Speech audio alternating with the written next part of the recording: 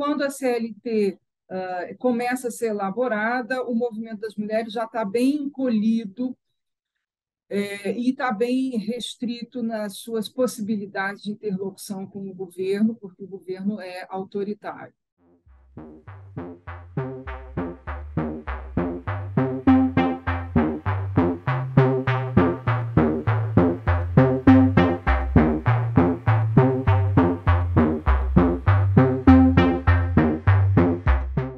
Sobre a relação entre a luta dos direitos das mulheres e a a consolidação das leis do trabalho.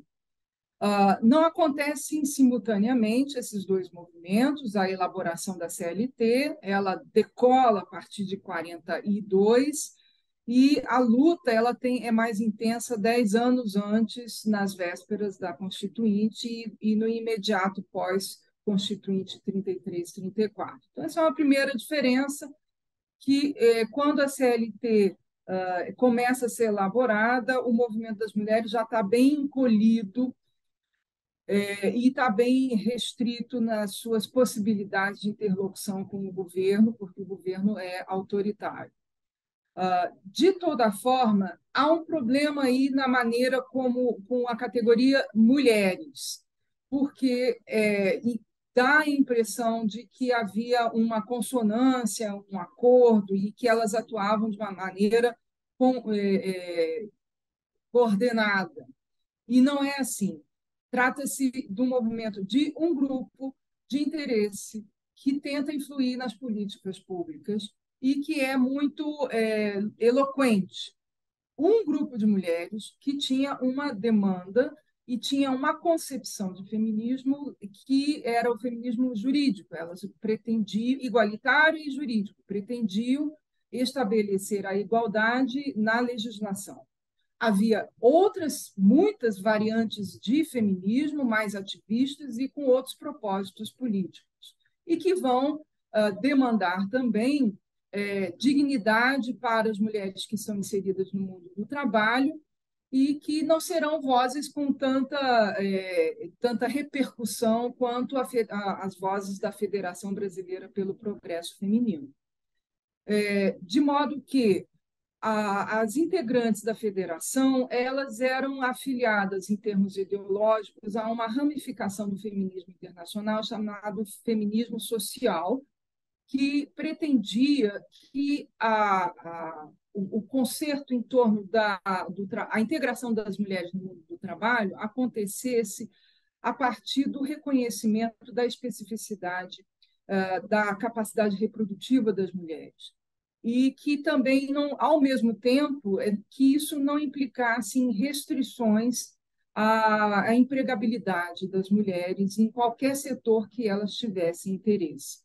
Esse ramo do chamado feminismo social se antagonizava com o feminismo igualitário radical, principalmente é, o praticado nos Estados Unidos, que pretendia uma emenda constitucional e que é, envolvesse o igualitarismo total entre homens e mulheres para todos os fins. Isso implicava que não haveria nenhum tipo de legislação de proteção à mulher trabalhadora, especialmente no momento da maternidade que era a pauta das feministas sociais. Elas, na Latinoamérica, essa ramificação do, do feminismo social era mais difundido é, e aqui a, as, as, feministas elas buscavam ter uma interlocução com o sistema político masculino, predominantemente masculino, que não dava assim tanto espaço.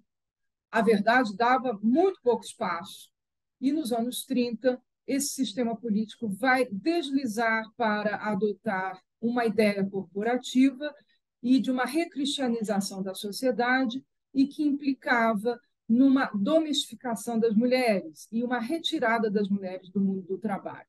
De modo que, ainda que a, o afastamento pós-parto fosse integrante da pauta das feministas é, da federação, a maneira como o afastamento pós-parto foi discutido e aprovado na Constituinte de 33 34 e depois foi praticado, era uma maneira que elas consideravam danosa para a empregabilidade das mulheres. Tá? e a CLT não vai corrigir isso. Ainda assim, Berta Lutz tinha uma interlocução com alguns formuladores, alguns homens públicos e formuladores da CLT, especialmente com o José Segadas Viana. Tanto assim é que, em abril de 44, é, a Berta Lutz vai ser nomeada representante do Brasil num congresso, num, num, num congresso, uma reunião da Organização Internacional do Trabalho que vai acontecer nos Estados Unidos e ela vai usar da palavra e defender um compromisso. Compromisso não é nenhuma resolução definitiva, mas é um compromisso de proteção à mulher na condição de mãe, eh, no momento da maternidade. Isso vai causar um, uma grande repercussão, porque nos Estados Unidos isso é, é, foi tomado como uma atitude radical da parte dela, porque lá, na, em 44 e até hoje, a questão da proteção à mulher na condição de, da maternidade é um, é um assunto controverso. Era em 44 e continua sendo controverso até hoje. De modo que, é, não conseguindo fazer vingar suas teses no plano doméstico, ela conseguia, a partir das sua, suas conexões com alguns integrantes do governo Vargas, é, usar da diplomacia para tentar contornar essa dificuldade que estava posta desde 1934, que era a ideia de que o empregador arcaria com o custo da licença maternidade. Isso implicava que o empregador não tinha estímulo para empregar mulheres em idade reprodutiva.